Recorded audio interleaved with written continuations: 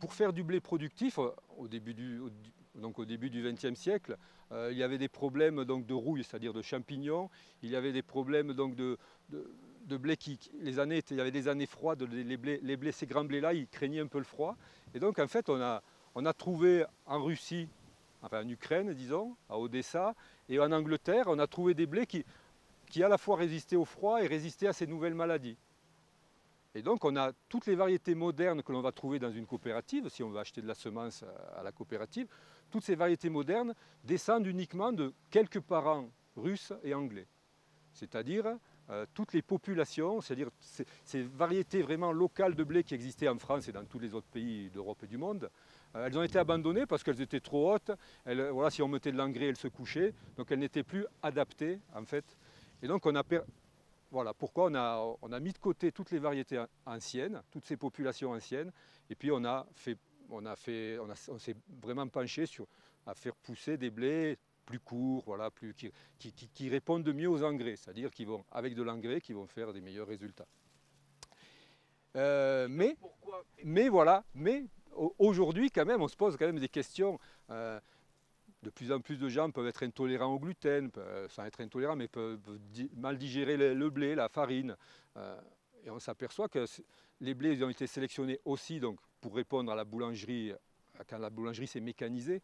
C'est-à-dire, on a on a essayé de trouver dans les variétés de blé donc, maintenant, qui étaient bien productives, donc dans les années 50, quand vraiment la boulangerie s'est mécanisée avec des pétrins mécaniques qui sont assez violents, il a fallu en plus trouver des, farines, des pâtes qui résistent à ça, puisque c'est assez violent.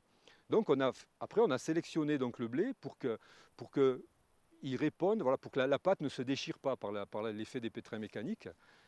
Et voilà, et donc là on est parti. Et donc en fait ce qui s'est passé, c'est qu'on a, dans le, blé, la principale protéine, c'est le gluten. Le gluten, c'est la, protéine qui va, c'est du, du chewing-gum, et c'est ça qui va faire que la pâte du pain va lever. Puisque ça fait une bulle comme un chewing-gum, ça va emprisonner le gaz euh, au travail des bactéries. Et ça, au plus, et on a cherché à ce que cette bulle soit de plus en plus résistante. Et donc, en fait, ce qui on a, par là, on a sélectionné donc, des blés qui ont fait donc, des gluten, c'est-à-dire cette protéine-là, de plus en plus, les, molécules sont de plus en plus grosses. Et donc forcément, plus on va dire, elles peuvent être éventuellement plus allergènes. En plus du gluten, on en mange partout, il y en a dans tout, dans toutes les préparations, les plats cuisinés, la moutarde, enfin dans tout ce qu'on veut. Donc, euh, donc ça, c'est aussi un autre, une, des, autres facettes du blé ancien.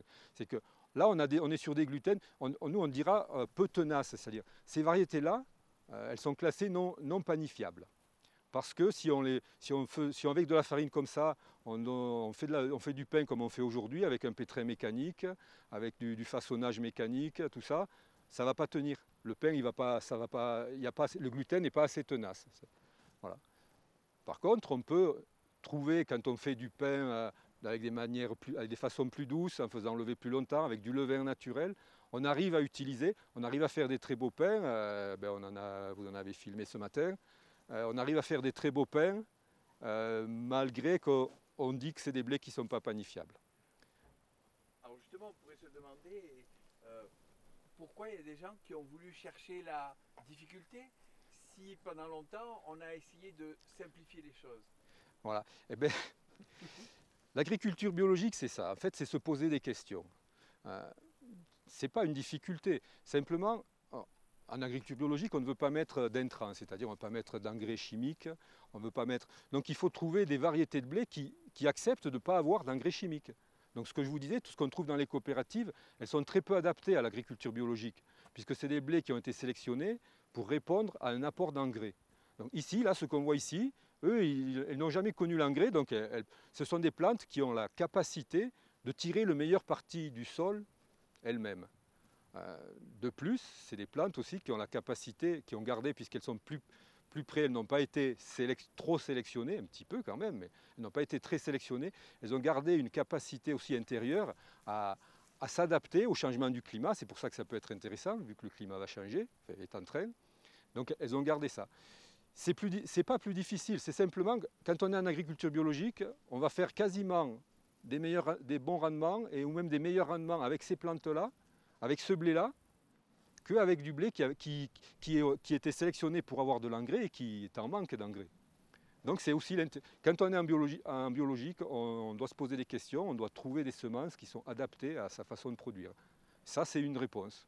Donc euh, l'intérêt, c'est quand on fait du pain, voilà, on a, on a des, pâtes plus digestes, plus, qui ont des meilleurs goûts, puisque là on retrouve des blés. Euh, les anciens ont sélectionné ces blés pour leur goût aussi.